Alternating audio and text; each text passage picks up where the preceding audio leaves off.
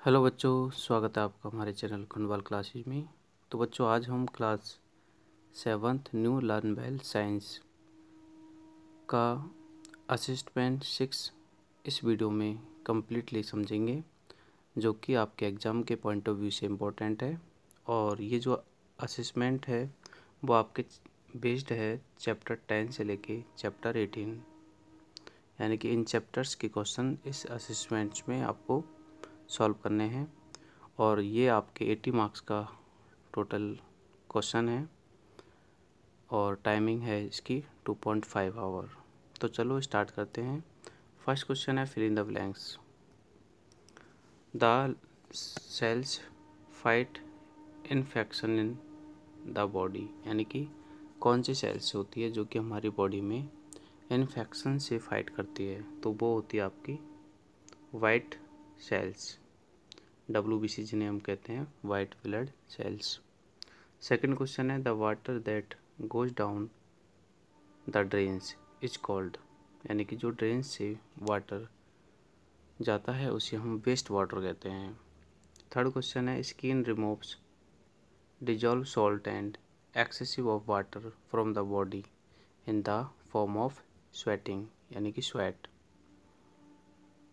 यानी कि स्किन से जो एक्सेसिव वाटर हमारे बॉडी से आउट होता है, जिसे हम स्वेटिंग कहते हैं, या फिर स्वेट कह सकते हैं, पसीना जो होता है।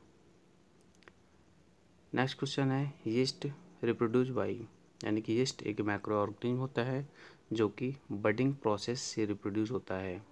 ठीक है? नेक्स्ट है the indicate the speed of vehicle vehicle की स्पीड को जो इंडिकेट करता है, वो आपका स्पीडोमीटर होता है। ठीक है, जो कि स्पीड को इंडिकेट करता है कि आपका व्हीकल किस स्पीड पर चल रहा है। नेक्स्ट है आपका the a combination of cells is called cells का कॉम्बिनेशन होता है, उसे हम कहते हैं बैटरी ठीक है? नेक्स्ट है cylinder consist of large number of turns of insulated copper wire around it तो इस को हम बोलते हैं सोलिनॉइड सोलिनॉइड में एक सिलेंडर होता है जिसके चारों तरफ़ कॉपर वायर की ऐसी कोयलिंग होती है, ठीक है? और इसमें इलेक्ट्रिसिटी को फ्लो किया जाता है। तो ये जो आपका सर्किट बनता है, ये सोलिनॉइड बनता है। अगला है आपका a plane mirrors form plane mirrors जो होता है, एक वर्चुअल इमेज को फॉर्म करता है। आगे हम देख रहे हैं question number two true false a real image can not be obtain on screen तो दिस इज़ फॉल्स क्योंकि एक जो रियल इमेज होती है, उसे हम स्क्रीन पर ऑप्टेन कर सकते हैं, ठीक है? नेक्स्ट है air pressure increase when wind blows at height high speed तो ये भी फॉल्स है, क्योंकि अगर विंड हाई स्पीड से चलती है देन एयर प्रेशर डिक्रीज होता है। नेक्स्ट है in most parts of India rainfall is caused by the summer monsoon तो बिल्कुल सही है। समर मानसून विंड होती है, उससे इंडिया के ज़्यादातर पार्ट्स में रेन होता है। फोर्थ है about two point five percent of water on the earth is available for drinking तो ये बिल्कुल फॉल्स है। नेक्स्ट है carnivore are also called recyclers carnivore are also called recyclers तो ये भी आपका फॉल्स है, क्योंकि कार्निवल रिसाइकलर्स नहीं होते हैं डिकम्पोजर्स रिसाइकलर्स होते हैं। नेक्स्ट है manhole are will to fix fault sewer line तो बिल्कुल सही है सीवर लाइन में कौन सी जगह पर फॉल्ट हो रहा है, इस चीज़ के लिए मैन होल्स सीवर लाइन में बनाए जाते हैं, इस चीज़ का पता लगाने के लिए। नेक्स्ट है the water that emerge from the settle tank is called clarified water. तो बिल्कुल ट्रू है ये। Next industries are responsible for the deflection of water table. तो बिल्कुल सही है। इंडस्ट्रीज़ से वाटर टेबल डिफ्लेक्शन होता है क्योंकि इंडस्ट्रीज़ में वाटर बहुत ज़्यादा यूज़ होता है। और जो कि ग्राउंड वाटर होता है। Next, give one word answer, question answer वाला क्वेश्चन है। The level of underground water a place is called water table. यानी कि किसी भी जगह पानी का जो लेवल होता है अंडरग्राउंड उसे वाटर टेबल कहते हैं। सेकंड क्वेश्चन है the process of producing more one of kind यानी खुद के जैसे बच्चे रिप्रोड्यूस करना रिप्रोडक्शन होता है। थर्ड क्वेश्चन है the process of removing waste from body यानी बॉडी से वेस्ट को रिमूव करने की प्रोसेस एक्सरेशन होती है। नेक्स्ट है the property of material which material by virtue of the which is oppose the flow of electric current यानी कि जो अपोज करता है इलेक्ट्रिक करंट का, ठीक है? तो उस प्रॉपर्टी को हम रेसिस्टेंस कहते हैं।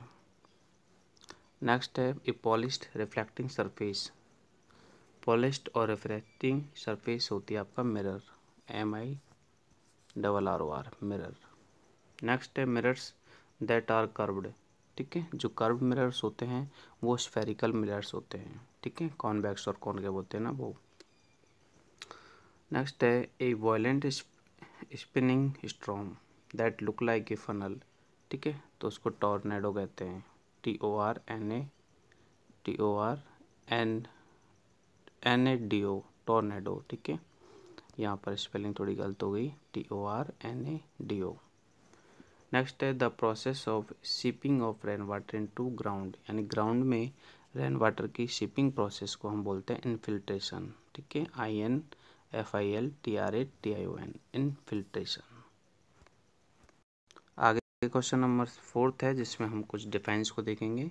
तो पहला है, देखते हैं हम ग्राउंड वाटर द तो पहला डिफाइन आपका ये है the water that sieves into the ground and collect above the impervious rocks below the surface of the earth is called ground water यानी कि वह पानी या वह वाटर जो कि आपके अंडरग्राउंड सीप्स होता है, यानी कि एब्जॉर्व हो जाता है इम्परवियस रॉक्स के बिटवीन उसे हम बोलते हैं ग्राउंड वाटर अगला आपका जो डिफाइन है, वो है आपका स्लेज का the solid waste that settle bottom of the sedimentation tank यानी कि सेडिमेंसन टैंक में जो सॉलिड वेस्ट सेटल होता है बॉटम में, उसे हम कहते हैं स्लीज नेक्स्ट आपका डिफाइन है कैनोपी का थर्ड नंबर का the roof from by the upper branches of tree यानी कि किसी भी पेड़ की अपर ब्रांच से जो एक रूफ जैसा फॉर्म होता है, उसे हम कैनोपी कहते हैं. फॉरेस्ट में जो अपर पार्ट होता है फॉरेस्ट का, उसे भी हम कैनोपी कहते हैं या फिर ओवर स्टोरी कहते हैं. अगला जो डिफाइन है आपका वाटर साइकिल का है तो water cycle the continuous circulation of water from earth. यानी कि अर्थ से वाटर का जो कंटिन्यूस सर्कुलेशन बनता है, earth to atmosphere and atmosphere to return earth, is called water cycle. Next जो आपका डिफाइन है, वो है आपका साइक, एक मिनट में देखता हूँ। साइक्लोन है। Cyclone is a huge revolving storm, यानी साइक्लोन एक बहुत बड़ा रिवॉल्विंग यानी कि घूमता हुआ स्ट्रॉम होता है ओशंस में। ठीक है, ये इस, और इसके आने का रीज़न होता है very high speed of winds यानी कि एक सेंटर एरिया होता है, जिसे हम लो प्रेशर का एरिया कह सकते हैं। तो लो प्रेशर के एरिया के राउंड एक बहुत ही फास्ट मोमेंट होता है। वाटर का, इसे हम बोलते हैं साइक्लोन नेक्स्ट आपका जो क्वेश्चन है, वो है लेंसेज का, ठीक है? डिफाइन लेंस तो lens is curved and transparent piece of glass ठीक है? लेंस देखें आपने। लेंस ग्लास के ही ट्रांसपेरेंट और कर्व्ड पीस होते हैं, ठीक है? और लेंस टू टाइप के होते हैं, आपके कॉन्वेक्स और कॉनकेव नेक्स्ट जो डिफाइन है आपका, वो है इलेक्ट्रोमैग्नेट का। तो a magnet that is produce by passing an electric current यानी कि एक मैग्नेट जो कि किसी भी इंसुलेटेड कोयल में इलेक्ट्रिक करंट के पास होने से बनता है तो वो आपका इलेक्ट्रोमैग्नेट कहलाता है, ठीक है? इलेक्ट्रोमैग्नेट्स आपके इलेक्ट्रिकल यानी कि इलेक्ट्रिसिटी से तैयार किए जाते हैं। नेक्स्ट जो आपका है, वो है speed speed is the distance covered by an object in unit time यानी कि कोई ऑब्जेक्ट के द्वारा यूनिट टाइम में कितने डिस्टेंस को कवर किया जाता है, वो उसकी स्पीड होती है। आगे हम देख रहे हैं फिफ्थ क्वेश्चन जिसमें आप देखेंगे डिस्टिंगस बिटवीन जैसे पहला आपका डिस्टिंगस है यूनिफॉर्म और नॉन यूनिफॉर्म में, ठीक है? नॉन तो यूनिफॉर्म मोशन क्या होता है? देखो the type of motion in which moving object covers equal distance in equal interval of time यानी कि इक्वल डिस्टेंस को इक्वल इंटरवल ऑफ़ टाइम में अगर कोई भी ऑब्जेक्ट कंप्लीट करता है तो ये जो आपका मोशन है यूनिफॉर्म होता है। और अगर आपका ऑब्जेक्ट अनइक्वल डिस्टेंस को अनइक्वल डिस्टेंस को इक्वल टाइम में कवर करता है तो वो आपका नॉन यूनिफॉर्म मोशन होता है। यानी कह सकते हैं कि यूनिफॉर्म मोशन में डिस्टेंस भी इक्वल होती है टाइम इंटरवल भी इक्वल होता है। बट यहाँ पर डिस्टेंस अनइक्वल होती है और टाइम इंटरवल तो इक्वल होता है। आगे आप देख रहे हो नेक्स्ट जो डिस्टिंगस है, वो है आपका यूनिसेक्सुअल एंड बाइसेक्सुअल में। ठीक है? तो यूनिसेक्सुअल फ्लावर्स वो होते हैं जिनमें एक ही मतलब पार्ट होता है, या तो मेल पार्ट होता है, या फिर फीमेल पार्ट होता है, ठीक है? रिप्रोडक्टिव जो पार्ट होता है, या तो मेल होता है, या फीमेल होता है तो वो यूनिसेक्सुअल होते हैं, और जबकि वाइसेक्सुअल में दोनों ही टाइप के पार्ट होते हैं, यानी कि मेल रिप्रोडक्टिव पार्ट और फीमेल रिप्रोडक्टिव पार्ट दोनों ही प्रेजेंट होते हैं, ठीक है? यहाँ पर एग्जाम्पल्स भी हैं, जैसे कुकुम्बर है पपाया है कॉर्न है टेट पॉम है, ये सब यूनिसेक्सुअल है, और जबकि बाइसेक्सुअल में आपके होते हैं, पी है, रोज है, चाइना रोज है, ठीक है, पेटूनिया है तो ये सभी बाइसेक्सुअल है। अगला जो डिफ्रेंशिएट है आपका, वो है सेक्सुअल एंड एसेक्सुअल डिफरेंस, ठीक है? सेक्सुअल रिप्रोडक्शन और एसेक्सुअल रिप्रोडक्शन तो देखो asexual reproduction, the mode of reproduction involves the production of new individual by single parent, यानी कि एसेक्सुअल रिप्रोडक्शन में आपके सिंगल पेरेंट होते हैं, जबकि सेक्सुअल में आपके दोनों ही पेरेंट्स होते हैं, या ठीक है, मेल और फीमेल, या हम बोल सकते हैं कि इसमें मेल और फीमेल दोनों ही टाइप के गैमेट्स होते हैं, ठीक है। एसेक्सुअल में आपके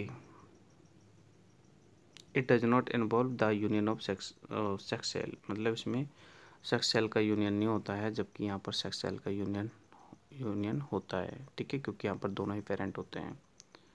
और इसमें जो न्यू इंडिविजुअल होता है, ठीक है? वो आइडेंटिकल होता है पेरेंट, यानी कि वो पेरेंट जैसा ही होता है दिखने में, ठीक है? बट यहाँ पर जो है जो न्यू बेबी होता है, ठीक है? उसमें दोनों ही पेरेंट्स के फीचर्स आ सकते हैं। अगला डिफ्रेंशिएट है वेंस में और आर्टरीज में, ठीक है? तो वेंस जो होती है, वो डीऑक्सीजनेटेड ब्लड को कैरी करती है। ठीक है और कैसे कैरी करती है? हार्ट से different parts of the body यानी कि वो हार्ट से डीऑक्सीजनेटेड ब्लड को कैरी करती है पूरे बॉडी में, ठीक है? और बेंच जो होती है, वो हमारी स्किन के अपर पार्ट जो होता है ना, उसके वेरी क्लोज होती है। यानी कि हम बेंच को हमारी स्किन से एक तरह से देख सकते हैं, ठीक है? जो ग्रीनिश कलर के आपके स्किन में जो हरे हरे कलर की जो नशे दिखाई देती है ना, वो बेंच होती है, ठीक है? और वेंस जो होती है, जो ब्लड का फ्लूशन ओनली वन डायरेक्शन में करती है। जबकि आर्टरी जो होती है, वो आपके ऑक्सीजनेटेड को कैरी करती है, ठीक है? पहली बात तो। और कहाँ से कहाँ तक करती है? बॉडी से हार्ट से, ठीक है? यानी कि पूरी बॉडी से और हार्ट में करती है कौन? आर्टरी जबकि बेंस हार्ट टू बॉडी में कन्वर्ट करती है। ठीक है? तो दोनों में थोड़ा डिफरेंट होता है। और ये थिक होती है मतलब इनकी बॉल्स थिक होती है, ठीक है? और ये डीप सेटेड होती है। डीप सेटेड मतलब ये अंदर की तरफ़ होती है, बाहर से स्किन में दिखाई नहीं देती है, ठीक है? आगे डिफरेंस है आपका कंडक्टर और इंसुलेटर का। तो कंडक्टर्स वो होते हैं जो इलेक्ट्रिसिटी को फ्लो करते हैं, ठीक है? जैसे all metals are good conductor but insulators जो इलेक्ट्रिसिटी को फ्लो नहीं करते हैं, वो आपके इंसुलेटर्स होते हैं। नेक्स्ट जो आपका डिफ्रेंशिएट है, वो है आपका रियल इमेज और वर्चुअल इमेज में, ठीक है? तो रियल जो रियल इमेज होती है, देखो कैसे बनती है। When the ray of light are reflected from smooth surface यानी कि जब रे ऑफ़ लाइट को स्मूथ सरफेस से रिफ्लेक्ट किया जाता है तो वो एक पॉइंट पे जाके मीट होती है, जिसे हम स्क्रीन कह सकते हैं, ठीक है?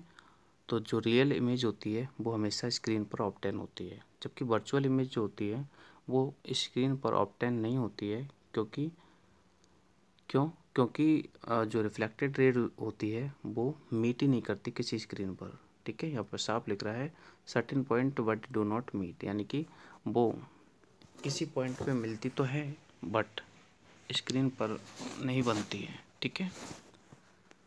नेक्स्ट है कॉनकेव और कॉन्वेक्स लेंस में अंतर।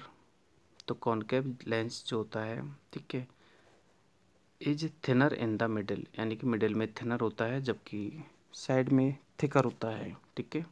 तो ये ऐसा कुछ आपका कौन कॉनकेव लेंस होता है, जो कि बीच में से थिन होता है और साइड में से थोड़ा थिकर होता है, जबकि आपका कॉन्वेक्स लेंस है, ठीक है? वो इसका जस्ट अपोजिट होता है, यानी कि मिडिल में से थिकर होता है और साइड में से थिनर होता है, ठीक है? तो ऐसा कुछ होता है ऐसा। एक मिनट रुको। ऐसा, ठीक है? यहाँ से तो थिन है, साइड में से तो और बीच में थिकर यानी मोटा है। तो ऐसा आपका कॉन्वेक्स लेंस होता है, ठीक है? नेक्स्ट आपका क्वेश्चन है, गिव रीजन वाला क्वेश्चन नंबर सिक्स। तो पहला क्वेश्चन है कि a bleeding wound stops bleeding after some times, यानी कि एक ब्लीडिंग बाउंड जो होता है, वो कुछ समय के बाद में अपने आप भी स्टॉप हो जाता है तो इसका रीज़न क्या है?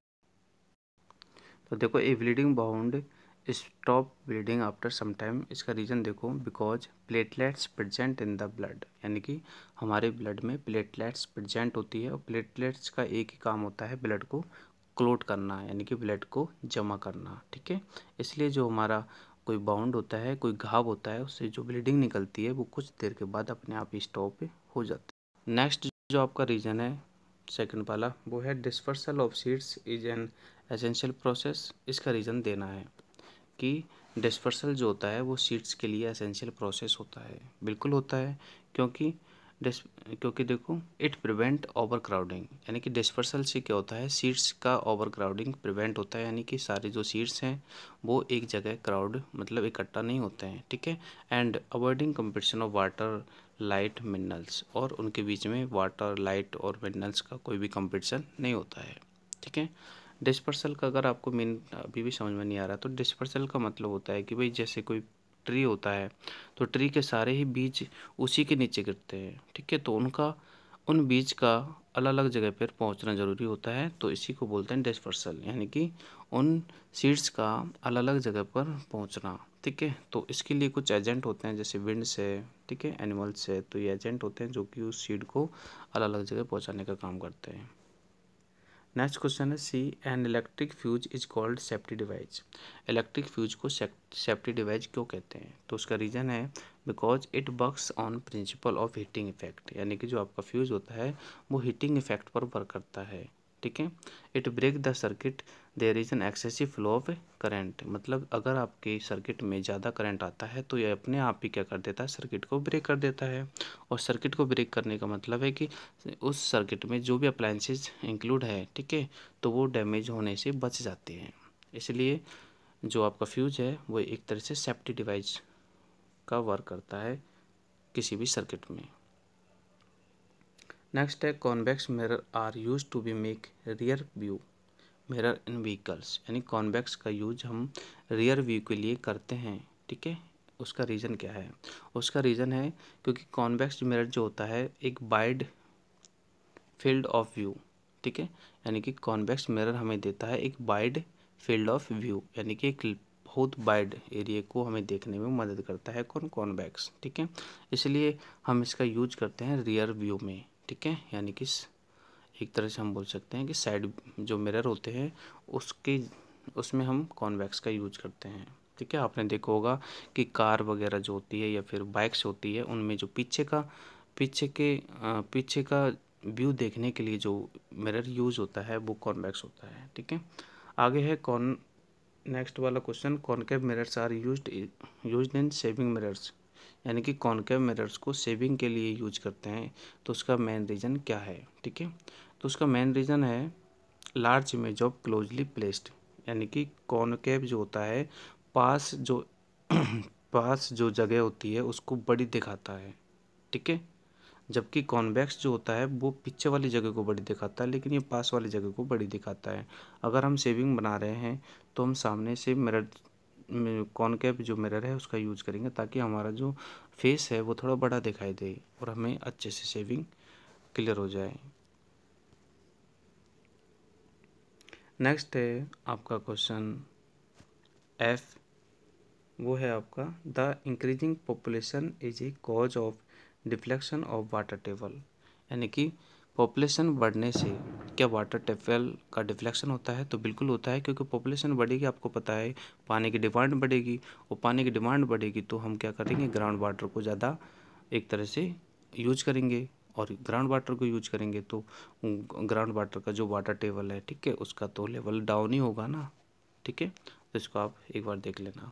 नेक्स्ट है G forest are called dynamic entities forest को हम डायनेमिक एंटिटीज कहते हैं because of animal living in forest help in its regeneration मतलब जो भी एनिमल फॉरेस्ट में रहते हैं, ठीक है तो वो रीजनरेट होते रहते हैं और growth and turn forest provide them food and shelter यानी कि फ़ूड और शेल्टर जो है फॉरेस्ट उनको प्रोवाइड करते हैं उन एनिमल्स को जो कि फॉरेस्ट में रहते हैं।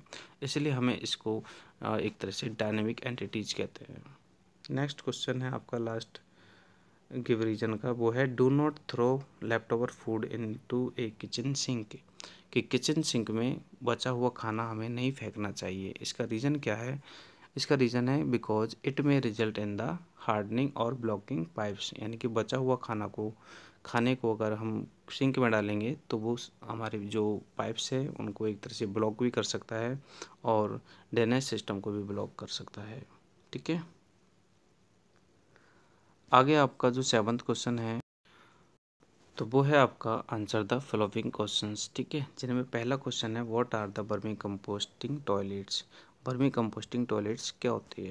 तो इसका आंसर है vermi composting toilets is a type of toilet which use uses redworms to treat human excreta मतलब ह्यूमन एक्सक्रेटा को ट्रीट करने के लिए रेडबम्स का यूज़ किया जाता है बर्मी कंपोस्टिंग में and convert it into the harmful mass called vermi composting यानी कि उस चीज़ को ह्यूमन एक्सक्रेटा को हार्मफुल मास में कन्वर्ट किया जाता है, जिसे वर्मी कंपोस्ट कहते हैं, ठीक है?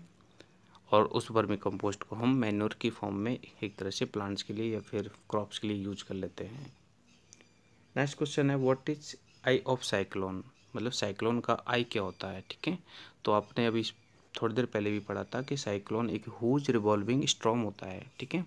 और आई जो होता है, वो एक तरह से लो प्रेशर एरिया होता है।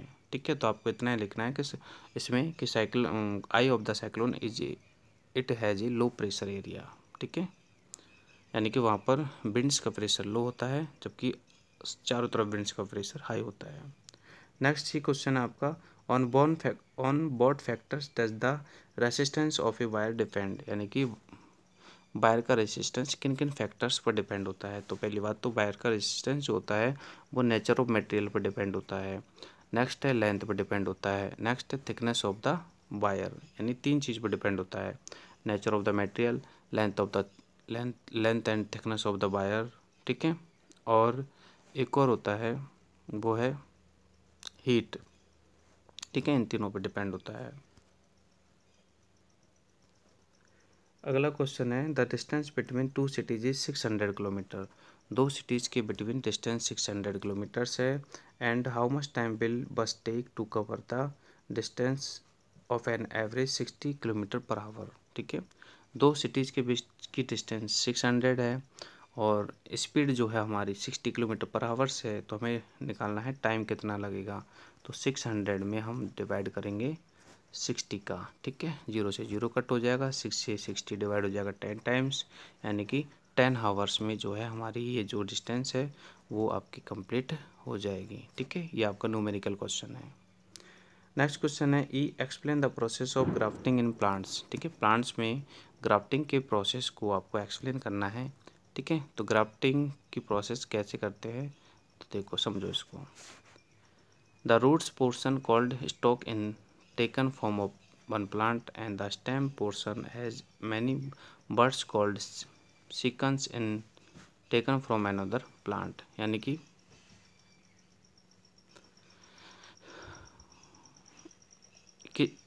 एक प्लांट का रूट पार्ट लेते हैं दूसरे प्लांट का स्टेम पार्ट लेते हैं और दोनों को एक तरह से हम आ, दोनों को यानी कि स्टॉक और सिकन दोनों को एक तरह से हम कट करते हैं। कैसे? ऑविक्यूली यानी कि जैसे मैं बताता हूँ, जैसे ये है आपका स्टेम इसको ऐसे कट करते हैं अविक्यूली ठीक है?